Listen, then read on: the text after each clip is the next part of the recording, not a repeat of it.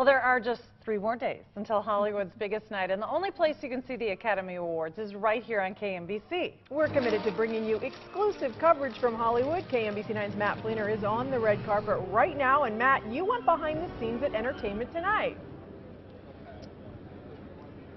Yeah, what a fun day we have had here in Hollywood. We're on the red carpet right now, just about 15 minutes away from the red carpet is Entertainment Tonight in Studio City, California, a long-running franchise here in Hollywood, more than 30 years running, and we had a great time with co-host Kevin Frazier behind the scenes today.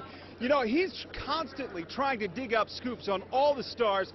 He says his relationship building with A-listers over many years in Hollywood pays big dividends on the red carpet.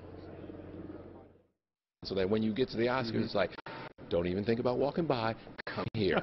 I will grab you. I will grab you. You don't have to scream in those moments, right? No, you're just, you're kind of like, I see you. I see, you know I see you. You see me. Come here. Well, he's a great guy, along with the rest of the cast and crew of Entertainment Tonight, including Melissa Rivers, who is a new contributor to Entertainment Tonight. She's a red carpet veteran, and we're going to be talking with her about fashion at the Oscars coming up on KMBC 9 News at 6. Reporting in Hollywood, Matt Flener, KMBC 9 News.